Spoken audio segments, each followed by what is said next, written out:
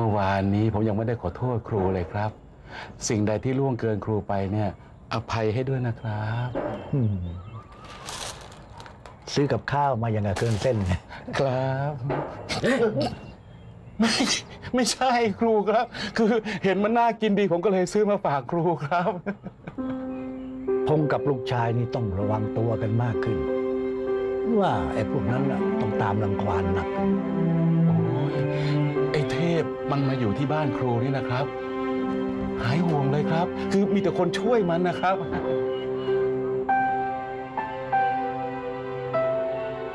โก็จ้ะอะประยุงค่ะขึ้นห้องเดี๋ยวโกะช่วยพยุงจ้ะ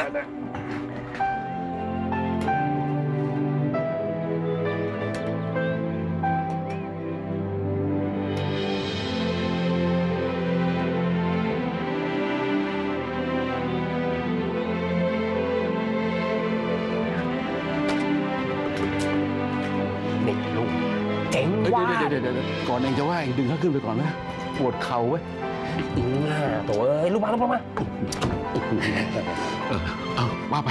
นี่ลุงเจ๋งว่านะครูเทียมเนี่ยคุยไม่ค่อยเหมือนเดิมยังไงไม่รู้อะธรรมดาเนี่ยนะ คุยเป็นคู่เป็นแควเลยอะโถ่เอ้ยครูเทียมไม่เอาไม้เท้าโขกหัวกระบาลลุงก็บุญเท่าไหร่แล้วเว้ย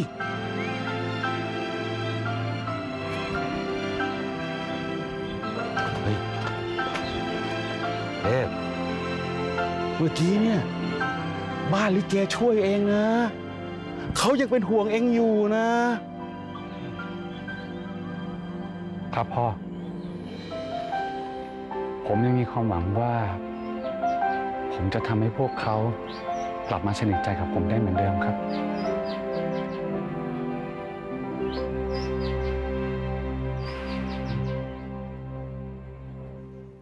อะไรนะไ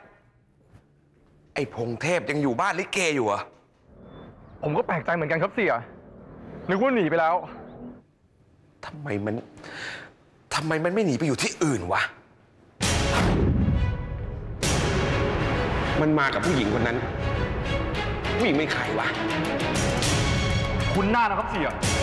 เหมือนคนที่คณะลิเกเลย นี่แล้วมันเป็นอะไรกันมันถึงพามา เฮ้ย นี่ไอ้เบิ้ม หรือจำเด็กผู้หญิงที่เจอกับไอ้พงเทพที่ห้างได้หรือเปล่าวะ ได้ครับเสียตัวเล็กๆ ผมสั้นๆครับ เองลองไปสืบดูสิว่า มันเป็นอะไรกับไอ้พงเทพ แล้วถ้ารู้อะรายงานอ้วนด้วย ครับเสียอาเทพมีแฟนเหรอเฮีย สงสัย มันเลยยังอยู่ที่บ้านลิเก สงสัยมันจะอยู่กับแฟนมันฮะโอ้นี่ถ้าถ้าคุณพงเทพมีคนอื่น แล้วคุณหนูล่ะคะ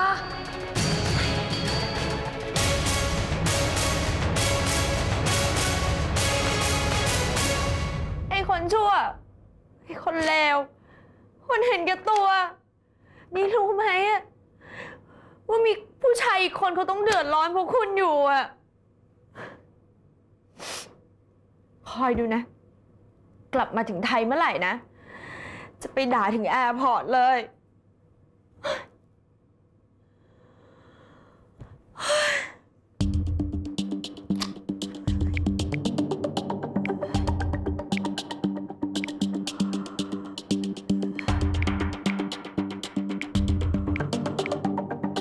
พีทถึงเมืองไทยแล้ว ตอนนี้อยู่ที่สนามบินสุวรรณภูมิ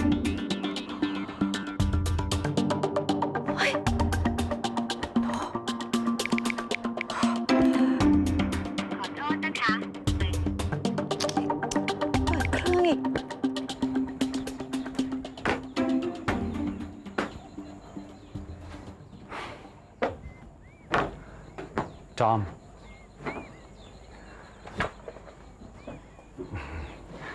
ผู้จัดการโรงแรมโทรมา บอกว่าพรุ่งนี้ต้องไปรำลิเกโชว์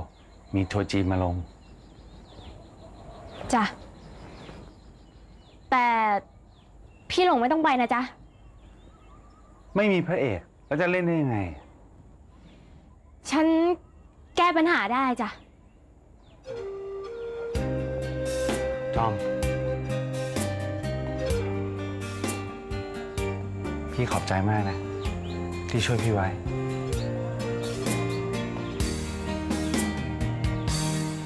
นี่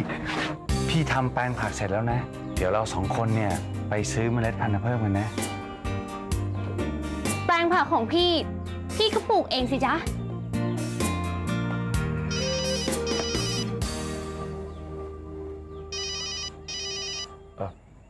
เดี๋ยว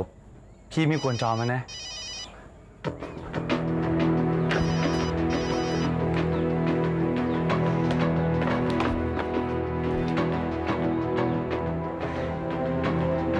ครโทรมา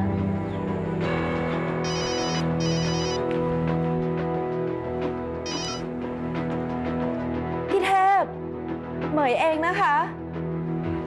เหมย เมื่อกี้เนี้ลูกน้องของเตียเหมยเนี่ยมาจับตัวพี่ ดงว่าเหมยยังไม่ได้คุยกับเตียเหมย ว่าพี่ไม่ใช่พ่อของลูกเหมยแฟนเหมยกลับถึงเมืองไทยแล้วค่ะ เหมยกำลังจะบอกเขาเรื่องลูกอะแฟนเหมยเป็นคนต่างชาติเหรอเขาเป็นคนไทยพี่เทพ แต่เขาไปทำงานเมืองนอก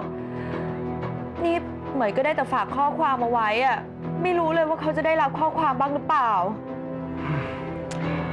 แล้วจะติดต่อได้เมื่อไหร่อะ เมื่อกี้เหมยโทรไป แต่เขาก็ยังไม่เปิดเครื่องเลย แต่เหมยจะต้องบอกเขาให้ได้พี่เทพ ถ้าโทรติดต่อไม่ได้ เหมยว่าเหมยจะบุกไปหาเขา บอกแฟนเหมยด้วยนะ เด็กเป็นสิ่งมีชีวิตที่บริสุทธิ์ทำให้เขาเกิดก็ต้องรู้จักรับผิดชอบ เหมยจะคุยกับเขาให้รู้เรื่องพี่เทพ ให้เขาแต่งงานกับเหมยให้ได้ พี่เทพจะได้รอดพ้นจากเตี่ยเหมยสักทีเหมยโทรบอกข่าวดีพี่เทพแค่นี้ก่อนนะคะ เหมยขอกลับไปโทรหาเขาก่อนที่เอาใจช่วยนะ ยังไงส่งข่าวพี่ด้วย อืม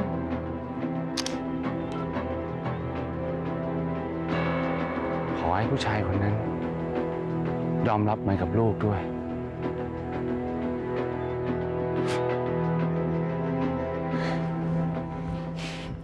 พรุ่งนี้พี่หลงไม่ได้ไปด้วย เราไม่มีพระเอก ฉันเลยเขียนฉากเทวดาเกี้ยวนางฟ้าจ้ะนักกำใจเนี่ยเป็นเทวดานะจ๊ะ ส่วนพี่กระแตเนี่ยเป็นนางฟ้าจ้ะ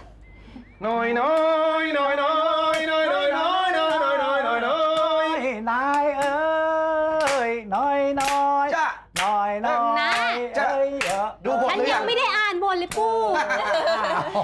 ก็ที่ครูสอนฉันใส่มาก่อนทำนองจอมเป็นมอง จอมจอมจอมนี่ไปไหนมาเนี่ยพี่โกงนี่รีบซ้อมเลยพรุ่งนี้มีงาน ใช่พี่เนี่ย ไปกินหวานเย็นที่ตลาดยายเจ๊ทรงงามมา ได้ยินแม่ค้ามันคุยกันน่ะว่ายายเจ๊ทรงงามจับได้ว่าฟ้าประธานน่ะมันอมเงินน่ะ มันเลยได้ฟ้าประธานออกมาจากบ้านน่ะ เฮ้ย เอาโอ้ยดูท่าทางไอ้ฟ้าประธานจะได้เงินไปเยอะป่านนี้คงมาอยู่สบายแล้วล่ะแม่ค้ามันจะคุยกันต่อเลยว่าว่ายายเจ๊ทรงงามมันแค้นมาก มันยึดเงินฟ้าประธานหมดเลยรถก็ไม่ให้ เฮ้ย เออ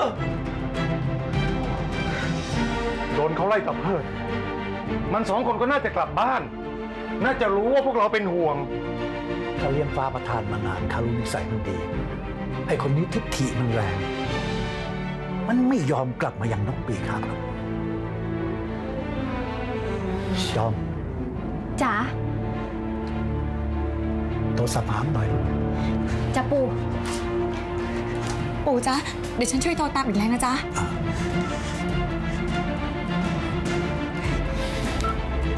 ไม่ได้เลยอะ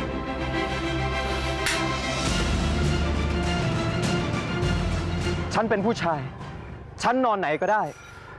ตุ้มกลับไปบ้านคุเทียมเถอะ เราออกมาด้วยกัน เราก็ต้องกลับด้วยกันสิจ๊ะ ไม่ ฉันไม่กลับ ฉันจะกลับบ้านเทียมฟ้าก็ต่อเมื่อ ฉันรวย ถ้าป๋าประธานไม่กลับ ฉันก็ไม่กลับ แต่ว่าคืนนี้เราไม่มีที่นอนนะตุ้ม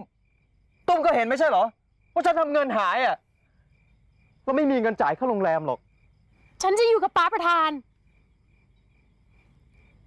จะไล่ยังไงฉันก็ไม่ไป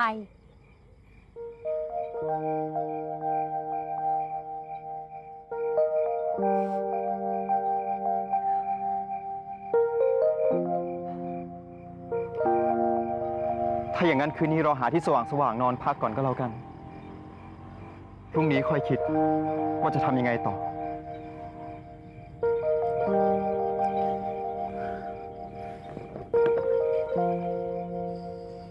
ยามนี้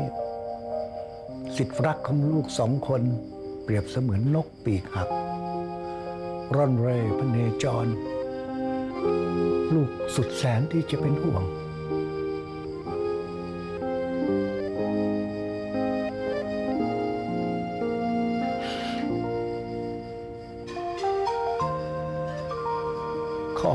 ช่วยโปรดดลบันดาล